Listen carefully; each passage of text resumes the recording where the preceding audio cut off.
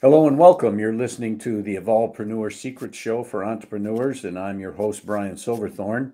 And it's my mission to help entrepreneurs make a difference and to also navigate the often challenging worlds of startup and growth or relaunch. And today we're going to dig deep with our guest to get you some great concepts and strategies to help fast track your business. And our special guest today is Melanie Herschorn. And Melanie is a book marketing strategist for coaches, consultants, and speakers. Welcome to the show, Melanie. Thank you, Brian. I'm so happy to be here. Happy to have you. So, where are you hanging out today? Phoenix, Arizona, where Ooh, I am. Yes, okay. where the weather is sunny and beautiful. Yeah, yeah.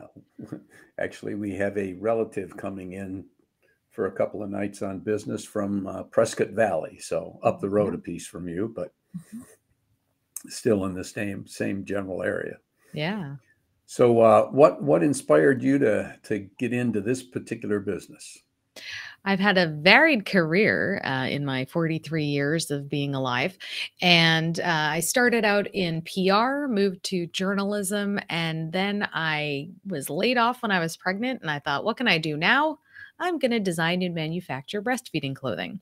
And so that's kind of when my entrepreneurial um, excitement took off. And uh, after about seven years doing that, I decided to close the business and really help entrepreneurs with their marketing and specifically authors because I find that when a person writes a book, they put their heart and soul into it. And one of the greatest tragedies is if it just sits on the shelf collecting dust and they don't get it out to the world. So I'm on a mission to make sure that that doesn't happen.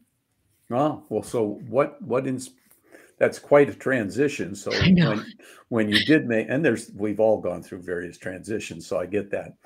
Um, but uh, when you got to be focused on authors what are you an author or did it get you there? Did, did you know some that that needed help or how did you settle there? So i i am an author but it wasn't you know i went through it and then i had to help other people. It wasn't like that. It was authors started coming to me. I was getting phone calls. You do marketing and i just wrote a book. Do you think you could help me? And which you know, it's kind of when the universe keeps sort of knocking you upside the head and then finally you go okay okay i'm listening. That was more of, of how it how it happened but it's been a, a wonderful journey for me because a book is so tangible and then i get to take that book and show people how to leverage it to grow their business and their brand and to create that awareness and to really help others, which is essentially why you write the book in the first place. It's not just so you can say I wrote a book. There's a there's a reason behind it. And so I show people how to leverage that.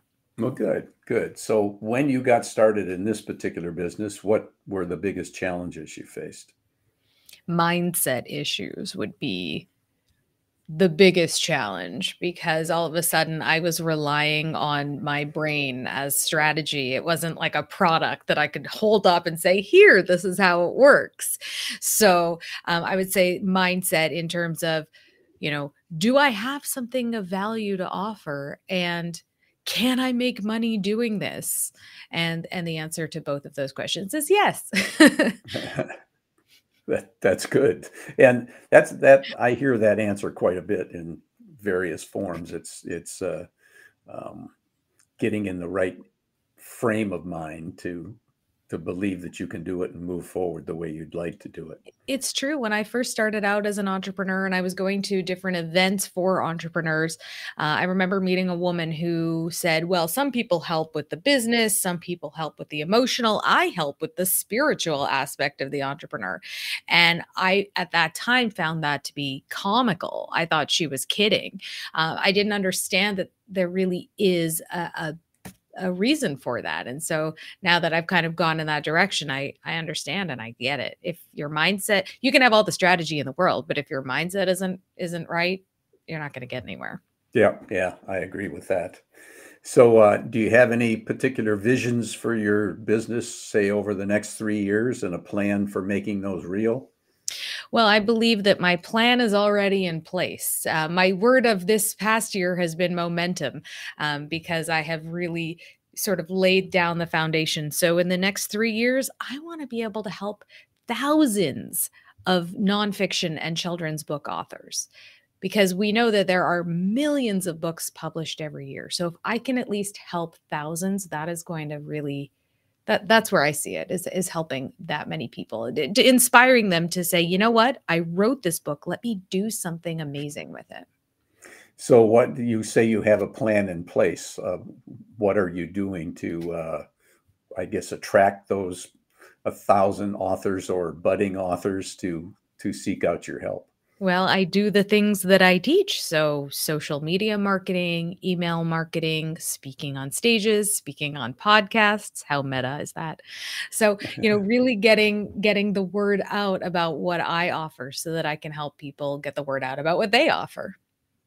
Okay, makes perfect sense.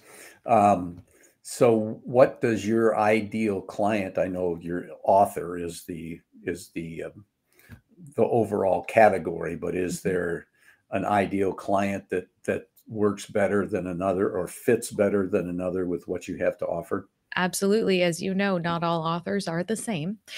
And so it has to be somebody who's written their book with a particular mission in mind. And their desire is not to say well i just want to make money it's it's really more about leveraging that that book to further their mission for their business or their brand so whether it's a client like a client of mine um, mike who's a financial planner whose mission is to help teach financial planners client retention um, so that that's a noble mission, right? Or or another client of mine who is a children's book author who wants to um, create better communication between parents and children. I mean, those two things are not. You would never really say those in the same sentence, right? But they really are linked in that the goal is a noble one, a, mission to improve this world in some way. So the people who write a book you know, with intent to further their brand or their business, but with that goal of making this world a better place, those are my people. Good. I, I like that phrase, noble mission. I, I don't know if I've heard it quite that way before, but uh, that that's uh, I'm going to pop that down in my collection of cool phrases. So awesome. I like that one. Yeah. um, so, any particular roadblocks uh, that uh, you run up against periodically to in your business as it as it relates to attracting new people and helping them out and getting them off on the right path? Absolutely. Of course there are roadblocks. Let's let's see. So some roadblocks are, you know, people say, "Well, if I'm paying you for strategy, just can't you just do it for me?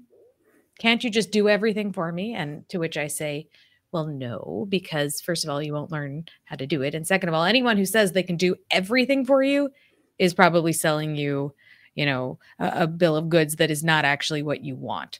Um, there are giant marketing companies that will offer you the moon and then deliver not very much. So that's one thing. People don't necessarily realize the importance of strategy versus the, you know, posting on Instagram every day implementation but there's definitely they're different mm-hmm. and and and you anybody can post on instagram but not anybody can provide you with a visionary strategy another one is that people think that being a best-selling author is all you need to do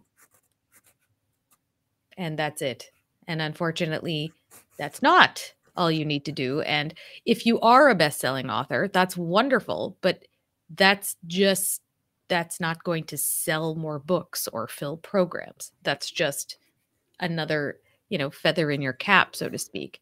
So, learning how to leverage the best-selling author piece of that, that is something that I kind of have to I guess crumble the roadblock in my way. Okay. So it's uh, your mindset was something you had to deal with when you got started, and it's other people's mindset, it sounds like, that you have to deal with to make sure, first of all, they're a good fit. And secondly, that you can help them in the right way and they're exactly. willing to participate. Exactly. I mean, there are a lot of, there's a lot of information out there, and not all of it is accurate. What do you mean? You mean if it's Not on if any. I thought everything on the internet or anywhere was accurate, right? Right. I mean, my eight year old, he'll say, Well, I watched it on YouTube, so that means it's right. No, no. it just means it's on YouTube. That's exactly it. well, this I, you've got a this is an interesting uh, uh, profession that you have here, and I'm sure it's it's needed because there's lots of people out there that can. I'm I'm sure that some that can sit down and write, and some that think they can sit down and write, but but once you have the product, whether it's a book or um, a pair of shoes, you still have to to get the word out there and have a strategy for doing it. So we're getting kind of toward the end of our time. Do you have any final thoughts for the people that uh, would be would benefit from your skills and, and what you offer, or just and for entrepreneurs in general? Well, I would love to invite all entrepreneurs to write a book because that is a an important credibility piece and that really does solidify you as a subject matter expert. But if nobody knows that you wrote the book, that's not really going to help you. So once you do write that book, I would recommend marketing it as much as you can because even though you're an author, you also need to be a marketer. Okay, so the the the uh, the nugget for thought there is is uh, people have to know what you've done uh, before they can take advantage of it. But I think it's it's akin to what a buddy of mine does. That design, one of the things he does is design websites, and he mm-hmm. said a website's great, but unless people know about it, it's like a big billboard in the middle of the desert. It, it's just there exactly. that, that nobody sees. Exactly. And so what I would say is Brian, you wouldn't you wouldn't, you know, plan a party and then forget to send out the invitations. Yeah, excellent. Good analogy. Good. Okay. Well, I'm going to use that as a wrap on another great guest episode of the Evolvepreneur Secret Show for entrepreneurs. And just before you go, if you liked it, please give us a five star review and share it with a couple of friends. And if you want to make sure you uh, don't miss any future episodes or catch up on some past ones, go to evolvepreneursecrets.show. And if you're an entrepreneur and you got a great idea up there in your noggin, let's get it out there today. Thanks for listening.